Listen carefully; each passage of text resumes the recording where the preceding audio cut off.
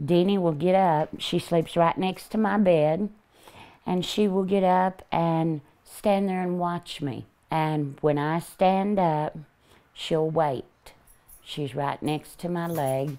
And when I put my hand on her back, then she'll start walking very, very slow. Dini has got three tumors in her mouth.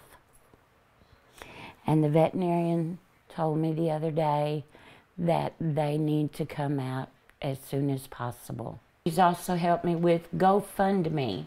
It's called Dini's Journey Back to Health. People are donating any amount that they can.